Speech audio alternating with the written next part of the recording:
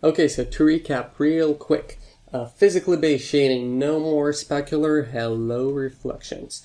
And now we're, you know, physically accurate, so that means that we have to adhere to energy conservation laws. Your diffuse plus reflection plus refraction cannot exceed the amount of incoming light that your lighting environment provides.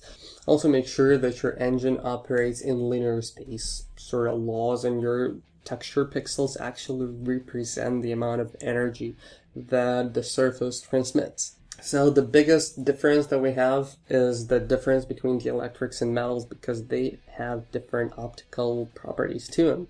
And the biggest thing here is that A, you know, we now have Fresnel reflections because dielectrics down here at the bottom, they aren't very reflective at facing angles but get super reflective at grazing angles, whereas metals are just almost always reflective, which means they don't really need too much of a diffuse texture in the first place.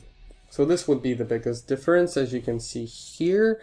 And now, you know, going on to specular, because your metals are so bright, their specular contribution is super intense, which means that they don't really rely on diffuse a lot, whereas dielectrics rely on diffuse a lot. But there's a catch, and the catch is that uh, dielectrics rely on just float values reflectivity because they reflect white light completely as it is, whereas metals, they absorb some waves, and, you know, that's why their specular reflection is colored. Also, one thing to know is that everything is specular, no matter how basically unspecular it looks. It's just the amount of roughness that the surface gets, but something even that looks as, you know, not shiny as a pair of jeans also actually, you know, possesses a fair amount of specular reflectivity to it.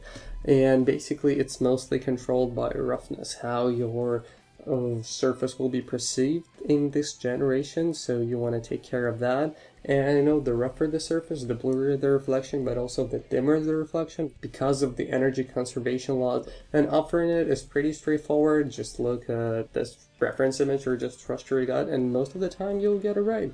Also, uh, you know, plastic painted with metal shiny stuff will just have metallic optical properties, whereas metals painted with something that is dielectric will have a dielectric appearance.